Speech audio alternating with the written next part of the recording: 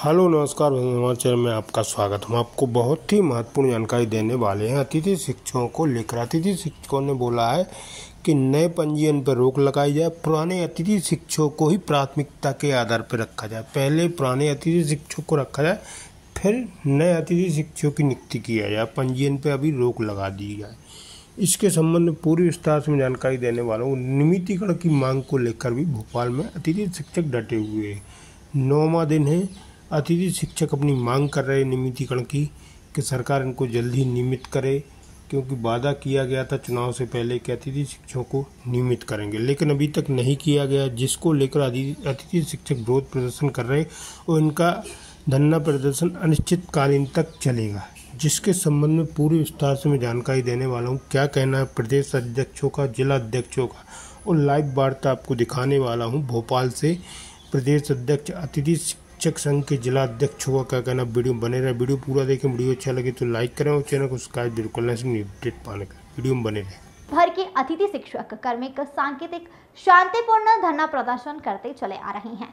किंतु आज तक धरने के नौवे दिन भी अतिथि शिक्षकों की प्रमुख लंबित मांग अनुभव के आधार पर विभागीय पात्रता परीक्षा को लेकर नियमित शिक्षक बनाए जाएँ तथा पूर्व मुख्यमंत्री शिवराज सिंह चौहान जी के द्वारा 2 सितंबर 2023 को अतिथि शिक्षक पंचायत में की गई घोषणाओं के समस्त आदेश जारी कराने, वर्तमान समस्या सहित अन्य मांगों को लेकर अनिश्चितकालीन सांकेतिक धरना प्रदर्शन कार्यक्रम का आज नौवा दिन है।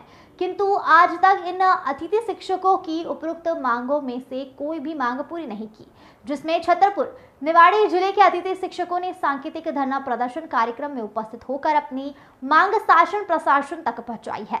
इस अवसर पर छतरपुर जिलाध्यक्ष राम अवतार कुशवाहा, निवाड़ी जिलाध्यक्ष भूपेंद्र सविता, प्रदेश कार्यकारिणी सदस्य अनुपमा सूत्रकार सहित उक्त ज़िले के सैकड़ों अतिथि शिक्षक, शिक्षिकाओं की सातवें दिन कार्यक्रम में उपस्थित रहे। Bureau report. मैं भूपेंद्र सविता, जिलाध्यक्ष, अतिथि शिक्षक संघ, नवाड़ी से प्रदेश महासचिव, अतिथि शिक्षक संघ। आज हम सभी अतिथि शिक्षक, जिला नवाड़ी, जिला टीकमगढ़, जिला छतरपुर से यहाँ पर उपस्थित हुए हैं। बड़ी ही संवेदना और वेदना है कि पंद्रह वर्षों से हम लोग मध्य प्रदेश में अतिथि शिक्षक अल्प मानदेय में शिक्षा व्यवस्था बेहतर देते आ रहे हैं। इन पंद्रह वर्षों के प्रतिफल में बहुत बार हम लोगों ने ज्ञापन दिए, आंदोलन किए। सरकार ने हम लोगों को वादे किए आपको नियमित करेंगे। इसी क्रम में 2 सितंबर 2023 को तत्कालीन मुख्यमंत्री शिवराज सिंह चौहान जी उन्होंने हम लोगों के हक में कहा था कि 12 माह का सेवा काल अतिथि शिक्षकों को दिया जाएगा। 20 बोनस अंक 50 प्रतिशत का आरक्षण और विभागीय परीक्षा लेकर के नियमित किया जाएगा। दोगुनी वेतन मानदेय की बात हुई थी केवल मानदेय बढ़ाया है इसके अलावा कोई भी मांग नहीं मा, मा, मानी गई है उनके द्वारा। हम एक बात जानते हैं कि भारतीय जनता पार्टी के समर्थित मुख्यमंत्री शिवराज सिंह चौहान जी थे।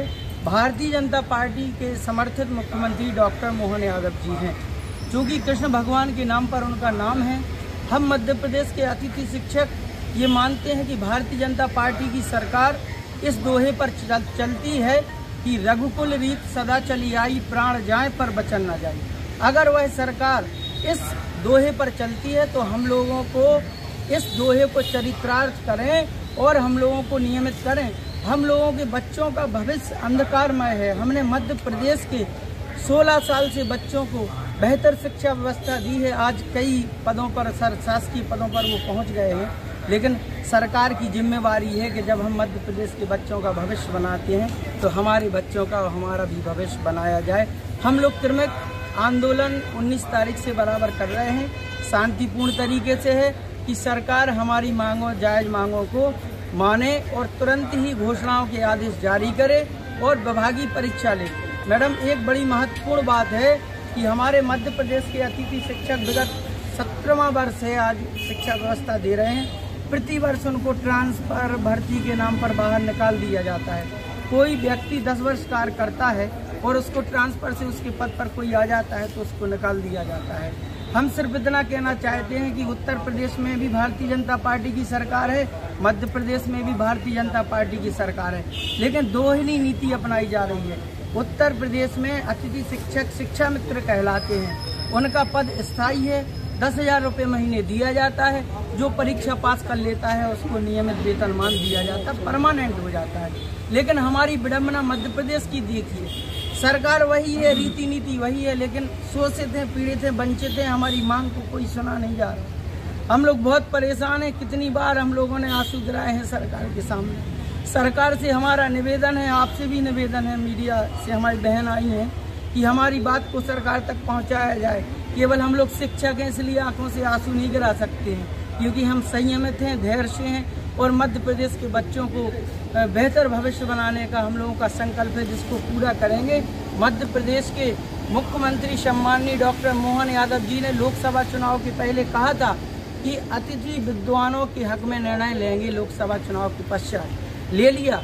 बासठ वर्ष की आयु, पचास हज़ार रुपये महीना, नियमित वेतनमान कर दिया। लेकिन अतिथि शिक्षकों के लिए भी उन्होंने कहा था कि लोकसभा चुनाव के बाद स्कूल में पढ़ाने वाले अतिथि शिक्षकों के हक में भी फैसला लेंगे, लेकिन आज तक फैसला नहीं लिया गया। यह दोहरी नीति हमारी समझ में नहीं आ रही है। हम सरकार से हाथ जोड़ करके हम सब बहत्तर हज़ार अतिथि शिक्षक निवेदन करते हैं कि हम लोगों का विभागीय परीक्षा लेकर के नियमित किया जाए। जो हमारे साथी वर्षों से पढ़ा रहे हैं, प्रशिक्षित हों या नहीं हों, लेकिन उनने त्याग किया है मध्य प्रदेश के बच्चों के लिए। इसलिए उनके भी भविष्य को ध्यान में रखते हुए उनकी विभागीय परीक्षा ली जाए और अति शीघ्र हम लोगों को नियमित किया जाए। अन्यथा की स्थिति में मैडम, जब पीर भर जाती है, दुख दर्द भर जाता है तो हम लोगों को संवैधानिक तरीके से सरकार का विरोध भी करना पड़ता है। लेकिन अभी हम हाथ जोड़ करके निवेदन कर रहे हैं। आपसे निवेदन है, बिल्कुल हमारी मांग वहाँ तक पहुँचाई जाए और मध्य प्रदेश की भारतीय जनता पार्टी समर्थित डॉक्टर मोहन यादव जी से हाथ जोड़ करके निवेदन है कृष्ण भगवान के जैसा काम करिए हम लोगों को नियमित करिए। बहुत बहुत धन्यवाद। अतिथि शिक्षक सब? मैं छतरपुर ज़िले का जिलाध्यक्ष हूँ। आज़ाद स्कूल अतिथि शिक्षक संघ मध्य प्रदेश।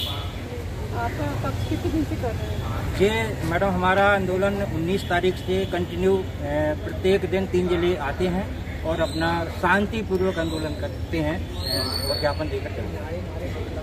हमारी मांग ये है कि जो हमारे यशस्वी मुख्यमंत्री, पूर्व मुख्यमंत्री श्री शिवराज सिंह चौहान जी ने दो सितंबर को जो घोषणाएँ की थी, उन घोषणाओं का पालन किया जाए, उन घोषणाओं के आदेश जारी करवाया जाए। क्योंकि जब 2 सितंबर 2023 को मुख्यमंत्री जी ने घोषणाएँ की थी, हमारे पक्ष में बहुत अच्छी घोषणा की थी, जिनको सुनकर के मध्य प्रदेश का एक एक अतिथि बहुत खुश हुआ था। ताकि हमारा भविष्य सुरक्षित हो जाएगा। लेकिन उन घोषणाओं के बाद आज तक उन घोषणाओं के आदेश लागू नहीं हुए हैं, इसलिए हम लोगों को यहाँ भोपाल तक आना पड़ रहा है।